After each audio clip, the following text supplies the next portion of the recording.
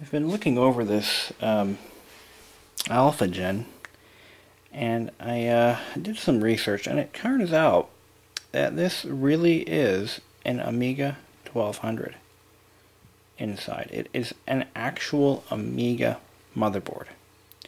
And if you look closely at the layout of the board, you've got a separate card here with a memory slot and processor, and you've got your main board here with a few modifications to make it work in this case. Of course, those modifications are all covered up. But this is a real Amiga logic board. Uh, possibly an extended production run, I don't know. But it's a 1200, so I'm going to show you what the 1200 really looks like. Since I don't own one, I had to go online. I found a guy who turned one into a desktop case. So let's see here. This is the Amiga 1200 logic board. As you can see, it has all the same ports. See? And this one has some modifications done to it, I believe. It also has this card slot. I wonder what that's for. That card slot should be under this cover here. Now keep in mind, this box was manufactured in 2000. So that means these have been in production in small batches for quite some time. Either that or they've been buying up used Amigas and converting them into character generators. But this is what the Amiga 1200 looks like assembled in its native form. It's an all-in-one design. And if you look closely at that motherboard and how that heat shield is installed, I'm sorry, the RF shield, it's actually angled to make room for a keyboard. This is getting more and more interesting as I look at it. But, there you have it. It is an Amiga. So I could go out and find some nice old Amiga software and actually run it on this machine natively and it wouldn't have any problems. That's pretty cool. Um, but what concerns me is this memory slot. I don't think the Amiga would have had... Oh, maybe it would have. That is a 72-pin SIMM, so I guess it's entirely possible. So, interesting stuff here. This power supply is an off-the-shelf power supply. Nothing special. It puts out plus 5 and plus 12. That's all it does. And what it does is it actually takes over for the Amiga's original power supply. As you can see, the manufacturer of this machine has soldered these wires, the light on it, directly to the power supply, uh, power input jack. That was one of the modifications they made to the board. I really would like to pull this heat shield up and take a better look at what I'm dealing with. Up oh, there's that slot right there. That expansion slot for the Amiga. And so that is. Course, they had no use for it, so they never made it accessible. Um, this connector would have been for possibly the original Amiga floppy drive, uh, or something like that. Stupid light, stay on. There we go. But, what does this thing got? It's a Motorola 6888 2FC FN33A. Um, here's a Motorola C608030. There's the processor right there. I don't know what this is for. That's probably a coprocessor or something. But this is the same processor used in the Macintosh lineup from the early 90s. Pretty cool. But this is a, a bona fide Amiga. Space for a hard drive. I might add one. Why not, right? This has a two and a half inch hard drive adapter. This was, oh wow.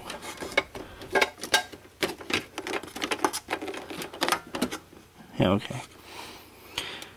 Two and a half inch hard drive adapter to 40 pin full sized. And that was used because the original Amiga plug was a laptop style but they wanted to use a full-size CD-ROM drive in here. And that means there's a good chance that I could add a hard drive without doing any major modifications. This is neat stuff. They've got a BNC connector here that's soldered directly to the video composite video out. So that's why that's all hacked up like that. Here is the channel selector switch for the RF output. So, unbelievable. That's what it is. And this power supply, again, is just an off-the-shelf, nothing special. I'm going to replace it with um, probably a, a modified uh, micro ATX or something. I'll stuff something in there. Alright, that's all for now. Okay, in this video we're going to start looking at uh, alternatives the original power supply that had failed in the MagicBox. Now, here's the original power supply. This is an off-the-shelf unit um, that was purchased probably in mass quantity. let me explain how this works. The power supply that was mounted in the box is nothing more than your off-the-shelf generic gas power supply. This is it provides two 4-pin Molex outputs and nothing else. Wattage appears to be something like um, 50 watts or so. Not much powerful than more powerful than uh, it needs to be. Okay. The problem is the power supply is dead and I can't find another one like it. But there is an alternative. If I had an Amiga 1200 power supply, I could just plug it in right there. And they cleverly called it an auxiliary power port. Clever. Anyway, what happens is when the power supply fails in these, they sell you the Amiga power supply and a jumper cable. Um, all that does is it jumpers this cable, which powers the CD-ROM drive, to the one that powers the floppy drive. I'm sorry, it, it jumps, let me rephrase that. It, it jumps this one here to this, which is actually an output power from the motherboard when you plug in the power supply. So when you connect those together, the, the motherboard powers the drives. Normally, these are disconnected from each other and plugged directly into the power supply, which powers the CD-ROM drive, the floppy drive, and the motherboard. So, how do we fix this? I don't have an Amiga 1200 power supply, and I'm not going to pay pay for one. I don't want to put any money into this box because I want to sell it and make a profit. So, I've got to do it safely. And to do that, I'm going to take the power supply from this external hard drive box I feel like a, I'm committing a crime here because this is something I actually need, but that's all I've got right now. So, um, this is a 1980s, possibly early 1990s, um, external Macintosh hard drive. It has a dead Rodime SCSI drive in it, and um, made by Jasmine. The Direct Drive 70. So it's going to sacrifice its mini power supply for this cause, which is about a 50 watt unit, and um, will do the trick just fine. Here it is. This is the power supply that came out of that box. And if I use the original connectors, which I will, you've got your power input here, positive and, uh, sorry, hot and neutral, and you've got your, and I believe there's a ground pin there too, and you've got your power output, which if you look at the original connector, here it is. It provides just the right, it has a plus 5, a plus 12, and two grounds just like it's supposed to have. So we're going to use this connector, chop it off, we're going to splice it into these two connectors here. This fits perfectly into this box. All's good. So, I'm going to start hacking this all together. I got to bring this to work where all my equipment is. And I'm going to start um, building a new power supply for the AlphaGen. Now the symptom with this power supply is the power blinks on and off rapidly. So it probably is a failing transistor, or switching transistor I should say. Um, I don't think it's a capacitor issue. I think it's more of a transistor or some other component. However, I'm not an electronics whiz. I don't have the time or patience to sit there and try to diagnose this power supply. I'm just going to rebuild it and uh, with a new new board. I've got one right there.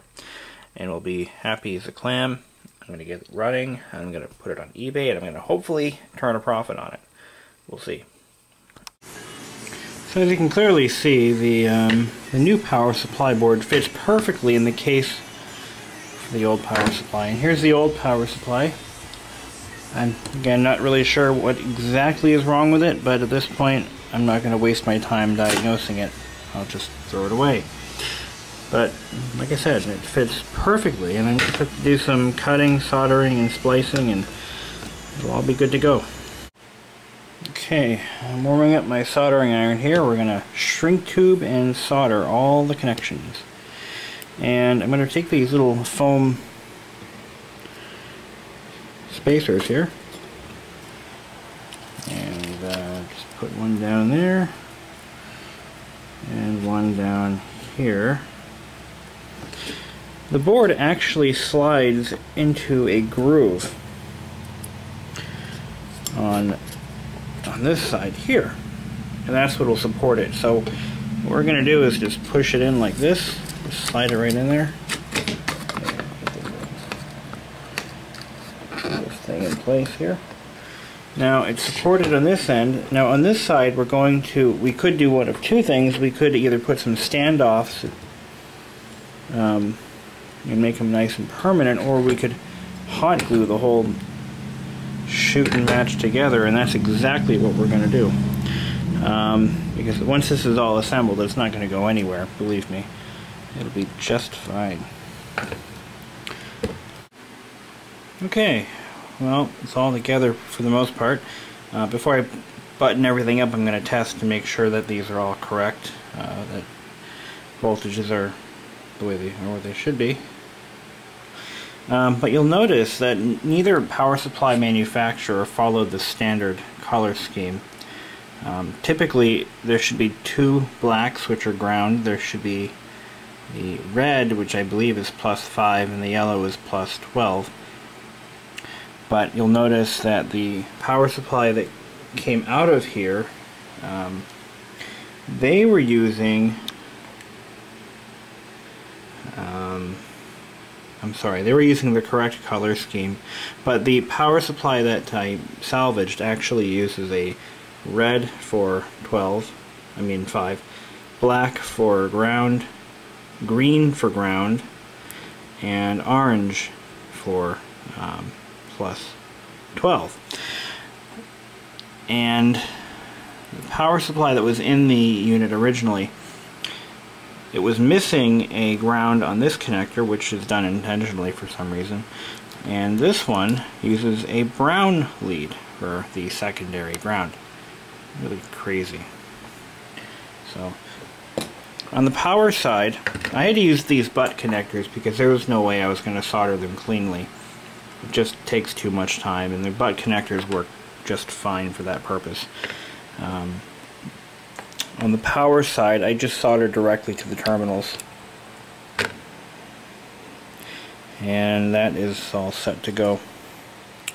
So now, I've got to glue this back into place and make sure that it doesn't go anywhere. Test the voltages and make sure everything is good. And then I'll put it all together. now the finished product. All reassembled. See how it works. There we go. Here comes the bulletin board. yeah.